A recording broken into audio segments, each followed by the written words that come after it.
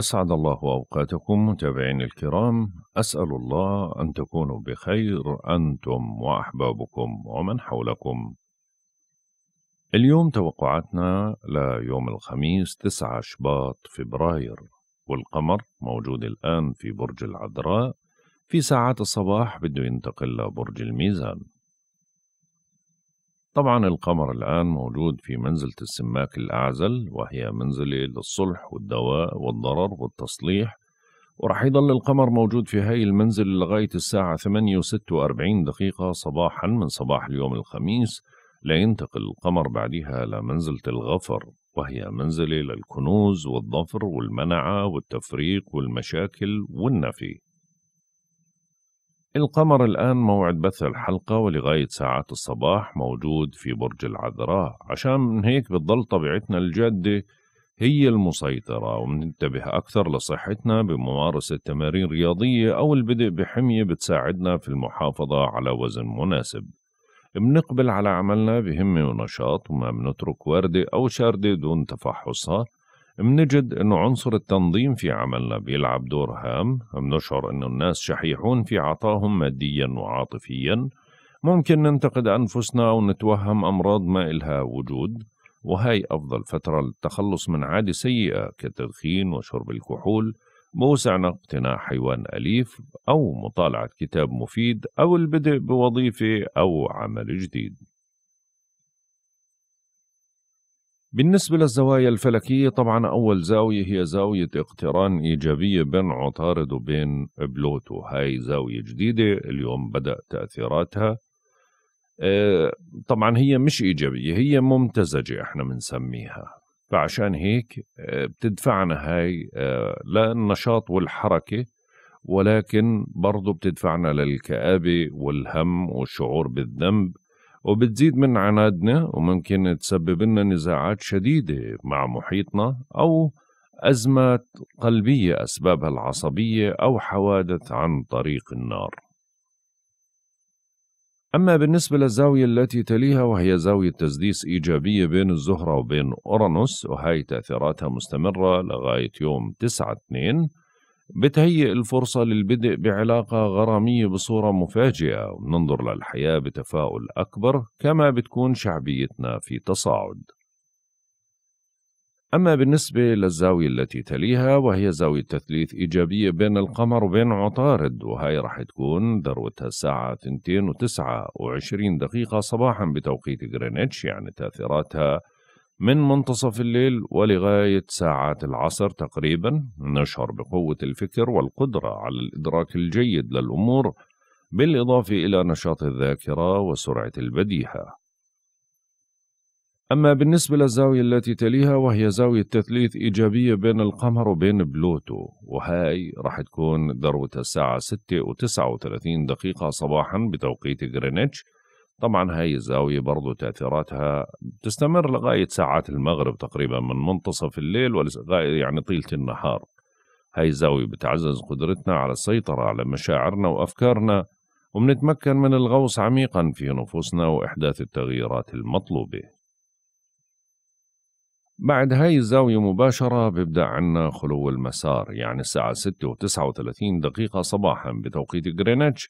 بيكون القمر خلص انتقل. آه، يعني بلش في مراحل خلو المسار لغاية الساعة 8 و46 دقيقة صباحا بتوقيت غرينتش يعني مدة تقريبا الساعتين.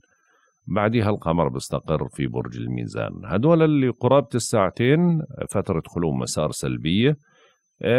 يعني لا تصلح للبدء بأي عمل جديد أو مهم مثل توقيع عقد أو خطوبة أو زواج أو شراء شيء ثمين. بل إكمال العمل اللي بدأنا فيه قبل خلو المسار. الساعة 8 و46 دقيقة صباحا بتوقيت غرينتش القمر خلص بنتقل بستقر آه، في برج الميزان. عشان هيك بنبدأ من ساعات الصباح فترة أفضل عاطفيا وخصوصا هاي الفترة آه، جيدة لتعزيز أوصار علاقة عاطفية مع الحبيب أو تحسين علاقة زوجية نالها بعض التوتر. منكون اجتماعيا أكثر ومنميل للاسترخاء يجد الغرام متنفس لدى العشاق ولكن ممكن تلعب الغيرة دور في علاقة لم تستقر بعد. في هاي الفترة بننجح في أعمالنا الفنية وبوسعنا القيام بمشروع مشترك ويمكننا أيضا إقامة حفل ما أو إعادة تزيين البيت أو المكتب أو اقتناء حاجية جميلة. بالنسبة للأعضاء اللي في جسمنا الأكثر حساسية واللي لازم نوفر لها العناية الإضافية خلال هذا اليوم وإذا تطلب الأمر منا أن نعمل فحوصات أو علاجات لإلها ففترة مناسبة. من الآن ولغاية ساعات الصباح عندنا البنكرياس والأمعاء الدقيقة الأعور القولون الجهاز الهضمي الاثنى عشر المستقيم أجهزة الإحساس اللي هي العيون والأذنين. أما من ساعات الصباح وما بعد بتصير عندنا الكلى والحالب والمثانة البولية الأوردة الجلد كعضو لللمس البنكرياس الأنسولين أسفل الظهر والزائد الدودية. بالنسبة لهذا اليوم يوصى بإجراء العمليات الجراحية ولكن مش في فترة خلو المسار ومش الأعضاء اللي ذكرناها. هذا اليوم مناسب لعمليات التجميل مثل الحقن والجراحة ولكن برضو مش في فترة خلو المسار. يصلح لإزالة الشعر الزائد ويصلح لقص الشعر التجميلي والصبغ ولكنه لا يصلح للقص العلاجي. بالنسبة للقمر بما أنه رح ينتقل لبرج الميزان معناته خلو المسار القادم رح يكون يوم السبت 11 2 بيبدأ خلو المسار في تمام الساعة 44 دقيقة مساء بتوقيت غرينتش وبيستمر حتى تمام الساعة 6 و34 دقيقة مساء بتوقيت غرينتش. لينتقل القمر بعدها ويستقر في برج العقرب. أما بالنسبة لعمر القمر عمر القمر انحسار المحدب عمره 19 يوم. في تمام الساعة 5 و47 دقيقة بعد العصر بصير عمره 20 يوم نسبة الإضاءة 83% وصلنا لمزاج الكواكب وطباع الكواكب لهذا اليوم. الشمس في الدلو حتى يوم 18 2 منتحس بنسبة 25% الآن وفي ساعات الصباح بصير منتحس بنسبة 50% القمر في العذراء بده ينتقل في ساعات الصباح للميزان ورح يضل في الميزان لغاية يوم 11 2 منتحس بنسبة 10% الآن ولكن في ساعات العصر تقريبا بصير سعيد بنسبة 25% وبكمل طيلة النهار. عطارد في الجدي حتى يوم 11 2 سعيد بنسبة 30% الزهرة في الحوت حتى يوم 20 2 سعيد بنسبة 10% المريخ في الجوزاء حتى يوم 25 3 سعيد بنسبة 30% المشتري في الحمل حتى يوم 16 5 سعيد بنسبة 15% زحل في الدلو حتى يوم 7 3 سعيد بنسبة 15% أورانوس في الثور حتى يوم 29 8 سعيد بنسبة 15% نبتون في الحوت حتى يوم 30 6 سعيد بنسبة 15% وبلوتو في الجدي حتى يوم 23 3 سعيد بنسبة 15% وصلنا للتوقعات اليومية. برج الحمل. طبعا ما زالت الأجواء القمر موجود بمراحل المقابل الآن فعشان هيك التركيز رح يكون على العمل وعلى الصحة. ممكن تجدوا أنه العمل تراكم برضو أكثر من المعتاد اليوم وتجدوا صعوبة في إنجاز الكثير من أعمالكم فعشان هيك بدكم تنتبهوا بشكل جيد لعملكم وصحتكم وحاولوا إيجاد الحلول وحاولوا انكم ما تفرضوا سلطتكم على زملائكم واضبطوا أعصابكم وإذا شعرتوا بشيء غير اعتيادي راجعوا طبيبكم. أما في ساعات الصباح وما بعد بترغبوا في تعزيز شراكاتكم. ممكن تتعقد بعض الأمور أو تطرأ بعض البلبله فعشان هيك بدكم تعالجوا الالتباسات وسوء التفاهم بموضوعية. وحاذروا القطيعه والدعاوى القانونية لأنه خصمك اليوم والعراقيل كمان يعني خصمك قوي والعراقيل برضو بتستفزك. برج الثور. بتظل رغبتكم قوية في التقرب من أحبائكم الحظوظ ما زالت بتدعمكم.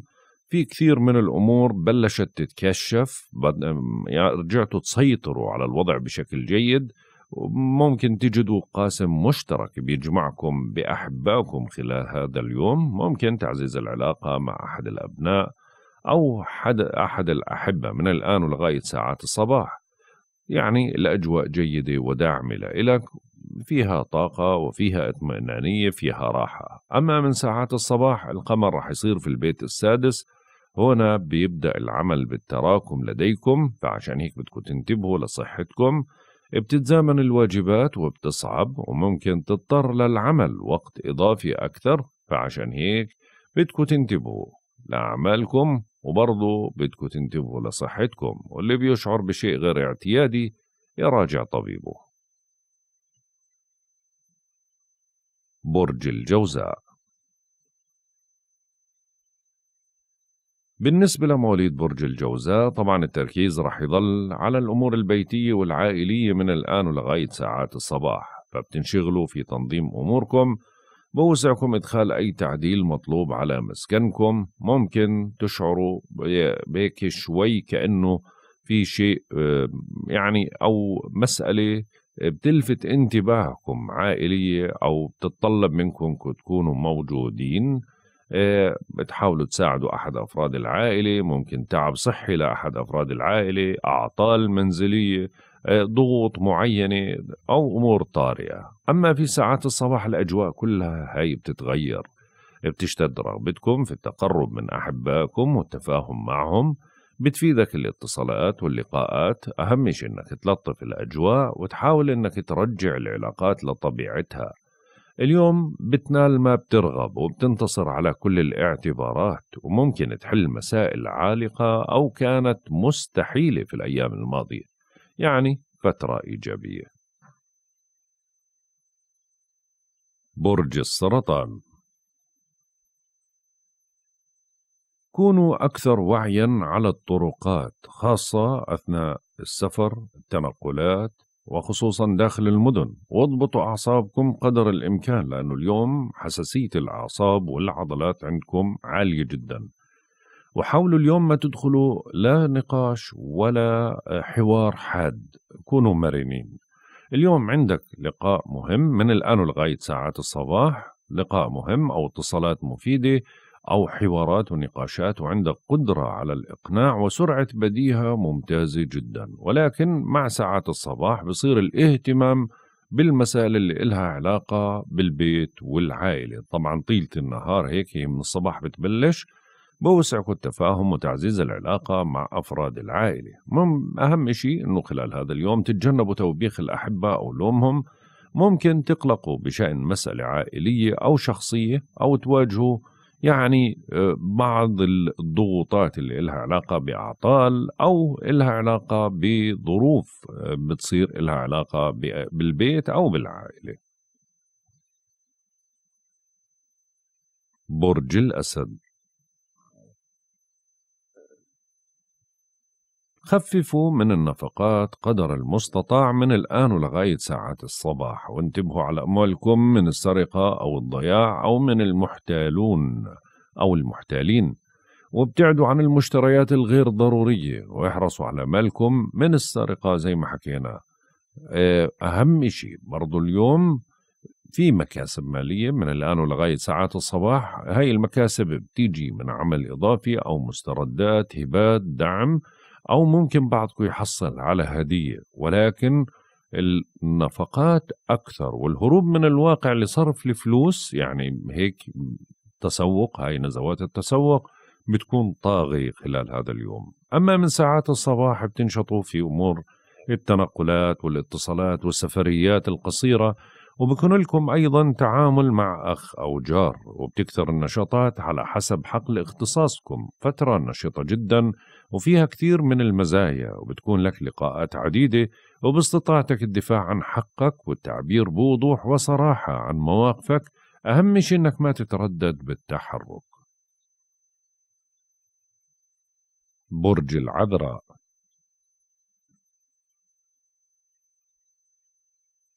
بتشعروا بثقة كبيرة بالنفس وقدرة على السيطرة على زمام الأمور.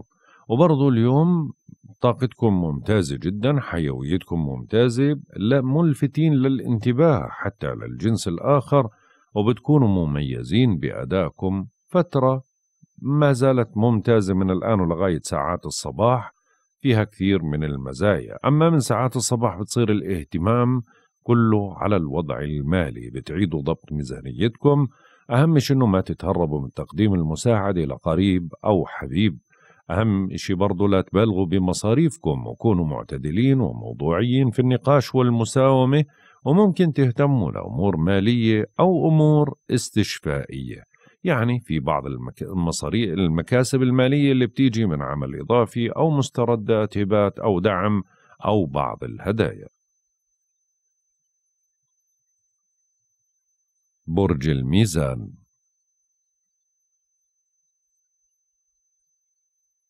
بالنسبة لمواليد برج الميزان طبعا هذا اليوم يتطلب منكم الانتباه بشكل جيد لصحتكم. من الآن ولغاية ساعات الصباح ما زالت الأجواء ضاغطة لأنه القمر موجود في بيت المتاعب فبظل التعب مسيطر عليكم. ممكن اليوم تتهربوا من مواعيد أو ما إلكم نفس تشوفوا حد هيك طاقتكم ضعيفة أو تشعروا ببعض التوعك الصحي أو حتى بالعصبية. أهم شيء أنه ما تتخذوا أي قرارات حاسمة ما تعصبوا آه، ما ما تبادروا بشيء. حاولوا إنه تأجلوا كل الأمور لغاية ساعات الصباح. من ساعات الصباح طبعا القمر بيكون وصل لعندكم. بيطرأ تغيير أفضل على صحتكم بتستعيدوا حماستكم وممكن هيك يصير بعض الانهماك بتعديلات أو تغييرات راح تكون على روتينكم أو على مظهركم. بتقوى نسبة النجاح وبتشتد عزيمتكم وبتنقلب المعطيات من تلقاء ذاتها لصالحكم. برج العقرب. بالنسبة لمواليد برج العقرب طبعا بظل التركيز على الأمور الاجتماعية والعلاقات الاجتماعية وعلاقاتكم مع أصدقائكم من الآن لغاية ساعات الصباح ولكن بدأ القمر يقترب من بيت المتاعب فعشان هيك من الآن ولغاية ساعات الصباح منكم أشخاص ممكن يشاركوا في حفلة مناسبة دعوة لقاء أصدقاء. أهم شيء إنه يعني في نشاط بالعلاقات الاجتماعية وممكن إنه تحصلوا على بعض المكاسب منها ولكن حاولوا إنه ما تفرضوا سلطتكم على أصدقائكم أو على الأشخاص اللي بتتعاملوا معهم. ما تكونوا فضين في الانتقاد أو بتسميع الكلام يعني ضبط الأعصاب مطلوب دون مواجهات. أما من ساعات الصباح الأجواء بتتغير لأنه القمر راح يوصل للميزان بيت متاعبكم فبدكم تنتبهوا أكثر لصحتكم. لا توقعوا على عقد وما تبدأوا عمل جديد لأنها هاي فترة فارغة من الحظ. حللوا الأمور بهدوء وابتعدوا عن الأضواء وما تقرروا على شيء عشان ما تخيب آمالكم. وحذروا من البلبلة والالتباسات. برج القوس.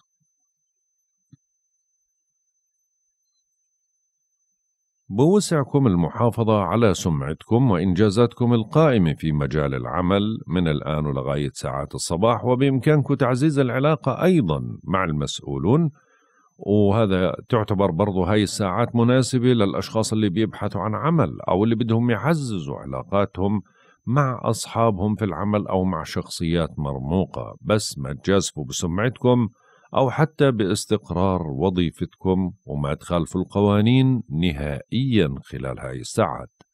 من ساعات الصبح أو من ساعات الصباح بتلتقوا الأصدقاء وأهم شيء انكم تبادروا لملاقاة الآخرين في منتصف الطريق بيطمئن بالكم لأنه اليوم ممكن تجدوا حليف يدعم تصوراتكم. راح تنشطوا اجتماعيا بمناسبات أو لقاءات أو اتصالات. أهم إشي إنه إذا كان بدك شيء اليوم وصار فيه عليه تأخير ما تستسلم بل كرر المحاولات. برج الجدي بالنسبة لمواليد برج الجدي طبعا ما زالت الأجواء جيدة على مستوى الاتصالات والسفريات والتنقلات والامتحانات والعلاقات مع الأجانب من الآن ولغاية ساعات الصباح. عشان هيك الأجواء جيدة ولكن في فترة خلو المسار بدكم تكونوا أكثر وعيا على الطرقات خاصة أثناء قيادة السيارة بين المدن. عندك نشاط وعندك حيوية وقدرة على الإقناع رائعة جدا. وبرضه بإمكانك أنك تعزز العلاقة مع الأحبة. أما من ساعات الصباح فهنا القمر بوصل لبيت السمعة. بتنجحوا في المحافظة على سمعتكم ومصالحكم الاجتماعية. بتخضعوا لعدة تجارب مهمة. أهم إشي أنه ما تضعفوا ما تجازفوا بسمعتكم بل قوموا بواجباتكم على أحسن ما يمكن وقدموا أفضل المستطاع. ممكن يكون في هاي الفترة نوع من أنواع القلق أو التوتر. من شيء ما. برج الدلو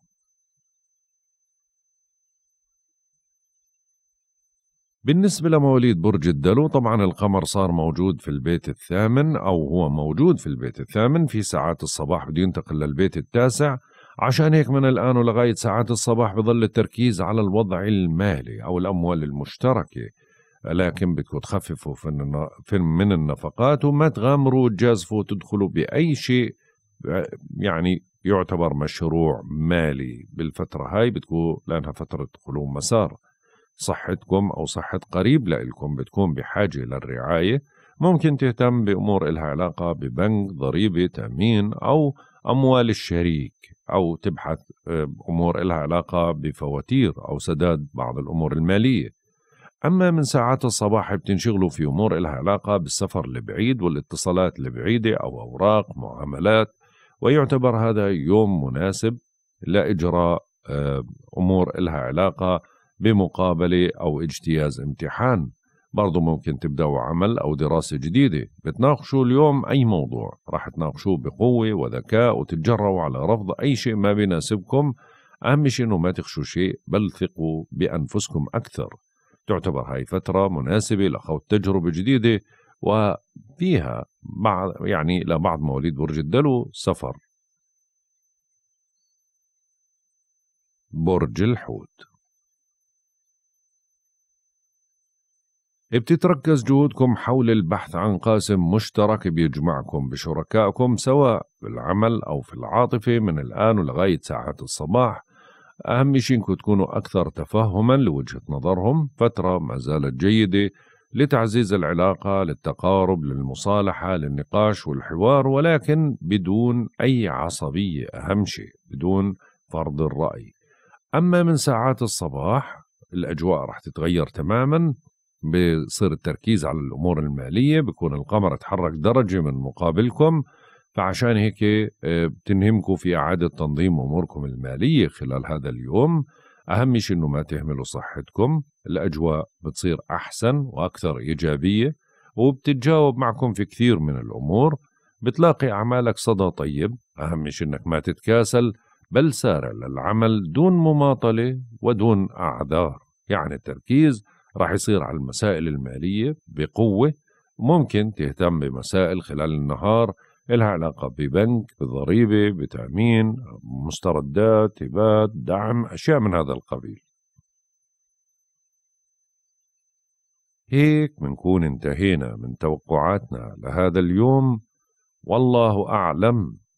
يا رضا الله ورضا الوالدين. سبحانك اللهم وبحمدك. أشهد أن لا إله إلا أنت. أستغفرك وأتوب إليك. أترككم في رعاية الله وحفظه. إلى اللقاء.